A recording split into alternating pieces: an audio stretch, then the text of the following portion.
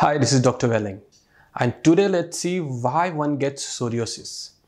Psoriasis is an autoimmune disorder, which means you get psoriasis when your own immunity attacks you. Seen with inflamed areas of skin, and people with the most common type of psoriasis, which is plaque psoriasis, develops thick patches of red and white scaly skin known as lesions.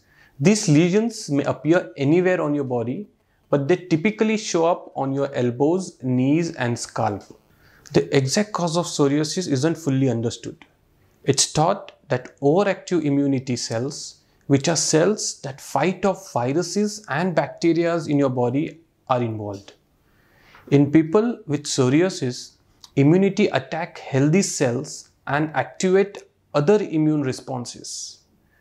This increases the production of healthy skin cells, a particular type of immunity cells, and other white blood cells. As a result, too many skin cells accumulate on the skin's outer layer. This is why some types of psoriasis cause the skin to have a scaly appearance. It normally takes weeks for new skin cells to form. But in people with psoriasis, new skin is formed within days. A body doesn't shed the excess cells and psoriasis lesions occur. Now, people with compromised immune system includes those with HIV or those who get repeated infections have a higher risk of getting psoriasis. Many environmental and lifestyle factors may trigger psoriasis to increase. Not everyone with psoriasis has the same trigger factors.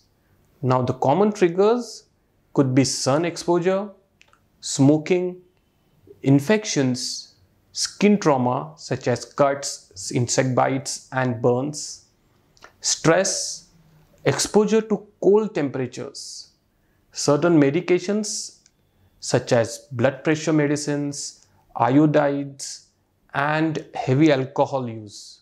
Smoking is very important cause of psoriasis. It isn't just the psoriasis trigger, it may also be involved in its development and also increase the severity of psoriasis. So now you know why someone gets psoriasis.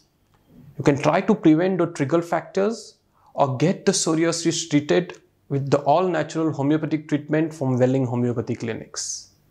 For any of your health problems, be sure to visit any Welling clinic. That's all in today's episode. Bye and take care.